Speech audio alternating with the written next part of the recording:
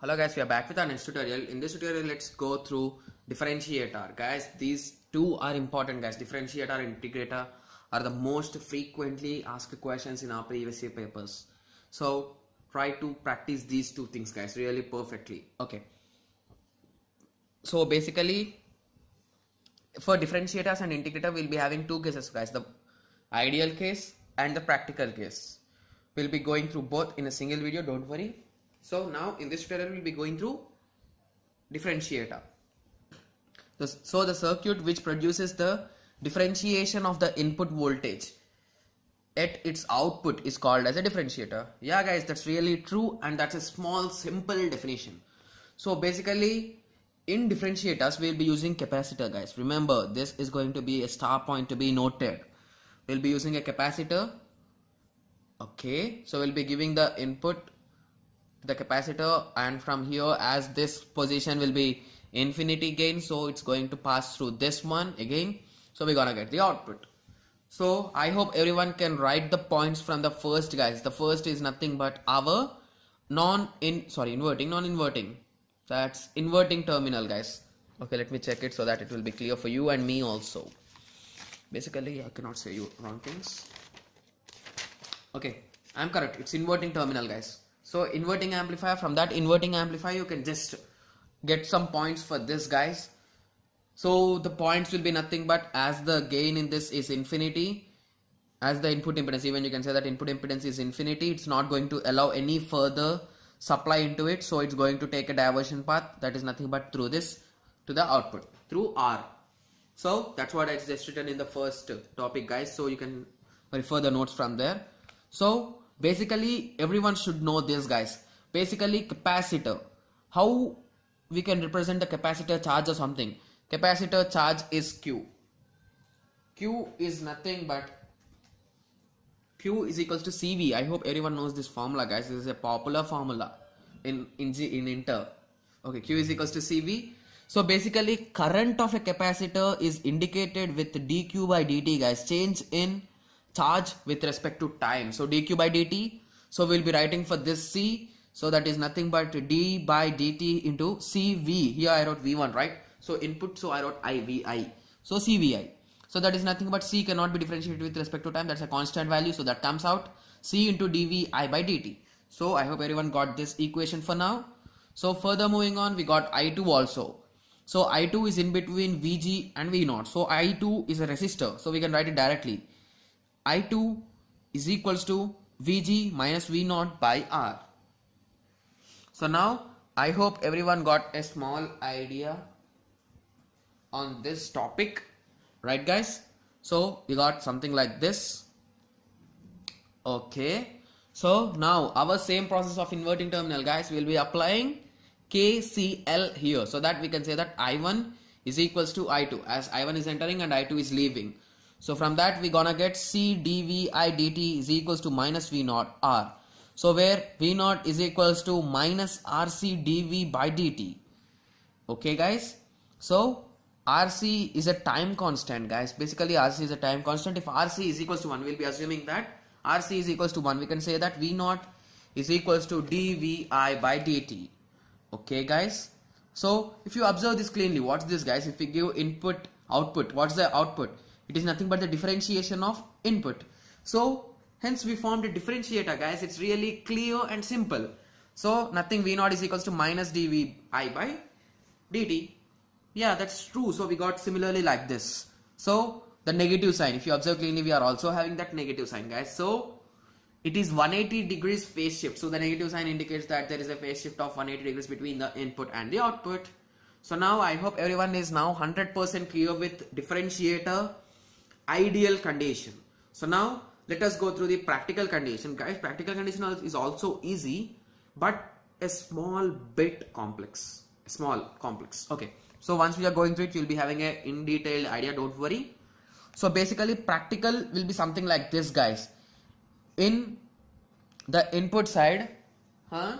In the input side, we'll be having the resistor and a capacitor in series and in the feedback network one resistor and one capacitor will be in parallel. Okay guys? Clear?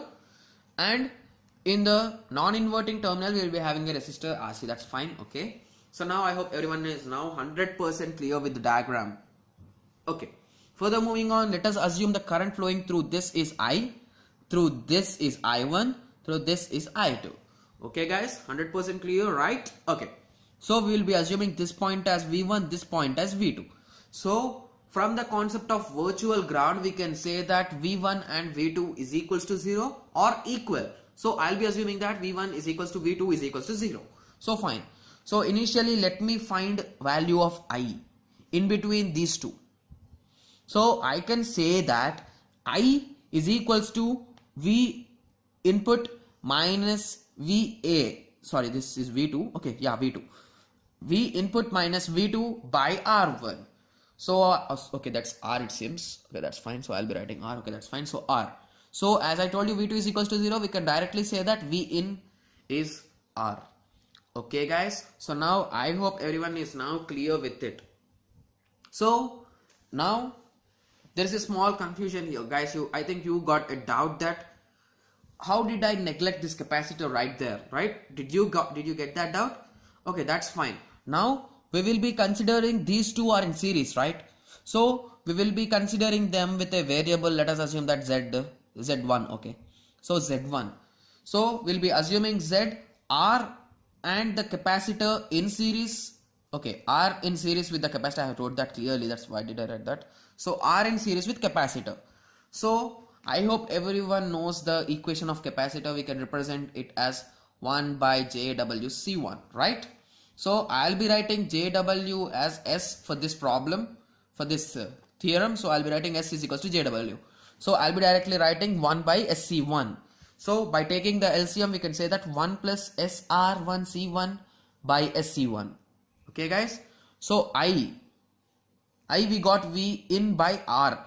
This r is nothing but z1 guys. You can write it z1 also that's fine. So v in by r that is nothing but v in into scr i substituted the value plus sr1c1 okay guys so now i hope everyone is now 100% clear guys. There is no more confusion guys. Okay? Okay. Further moving on to i1 so i hope everyone can write the equation for i1 as that's an resistor. So here it will be v2 and here it will be vo okay v out. Okay. V2 minus v out by rf that's what it's right here. V2 minus v naught by rf yeah that's clear so as we all know that v2 is equals to 0 i1 is nothing but minus v out by rf okay guys? Further moving on to it here the main game starts. Okay guys? I frequently use the word. Okay that's fine. So this is v2 v naught okay so we are writing for this right? So in the previous tutorial I have told you that the charge of this is equals to Q is equals to CV, right? Okay. So basically CV. Okay, that's fine. So I will represent I2, right? I2 is equals to dq by dt. So we're gonna write CF, okay? For this CF into D into voltage. That is nothing but the change in the voltage. Nothing. That is nothing but V2 minus V out by what's the time v dt okay guys so this is how we got the v2 value that's I have just written it directly guys so that I hope everyone can understand that so i2 is equals to cf d v2 minus V0 by dt v output or V0 guys. That's fine. So once we substitute v2 equals to 0 we're gonna get this. Okay minus cf d V0 by dt okay guys. So now i hope everyone have everyone got a small idea. So now for this if we apply the Laplace transforms guys. Guys this is a concept of mathematics. We'll be applying Laplace transforms to convert the differentiation or integration parts into a normal equation. See here there is a differentiation part but there is no differentiation part here. So that converted like this. So it is going to differentiate one time. Like that you need to identify it. So basically minus will become b minus cf cf okay. Dv naught by dt it is going to replace by sv naught by in, in terms of s okay. So that's how we got this equation. So now applying kcl as usual at node a at node a we are going to apply excuse me kcl so we're gonna get i is equals to i1 plus i2 so that's how we got i is equals to i1 plus i2 so we'll be substituting the three values of i i1 and i2 the reason why i have changed applied laplace transform is that here we are having differentiation part. So just to convert it into normal form so I have just done that so we have just we if you observe clearly everything is normal without any differentiation. So here I can take V out common or V out of S common. So we, I took it common. So I got like this. So I'll be sending that that side. So I got like this. So here for just for my assumption I'll be taking R1C1 is equals to RFCF so R1C1 okay it's going to change here. This part and this part is going to combine. Combinedly it's going to multiply so once we multiply that we're gonna get this equation. Guys you need to take a piece of paper and practice guys. Only then you can understand and remember these things. Okay so, so we got this. So let us assume that cf c1 cf into c1 is very very very very greater than c1 c2 okay this is nothing but cf okay. Okay sorry that's correct only. Rf and c1 is very very greater than r1 c1 or rf cf so by converting this we can make this as our main equation from now on as this part is really really small. That's what we just tried to say right? C rff cff sorry rf and cf are very very less when compared to rf and c1 so i will be completely neglecting this term to zero. So i got this equation. Okay. So for this if we apply laplace transform to remove this s we're gonna get v out is equals to rfs c1 into d by dt v in of t in terms of t. So this will be our equation. So if we assume this is equals to 1 we're gonna get our basic equation that is nothing but d by dt of v input that is nothing but this. So in this condition also it is negative but the value is accurately correct.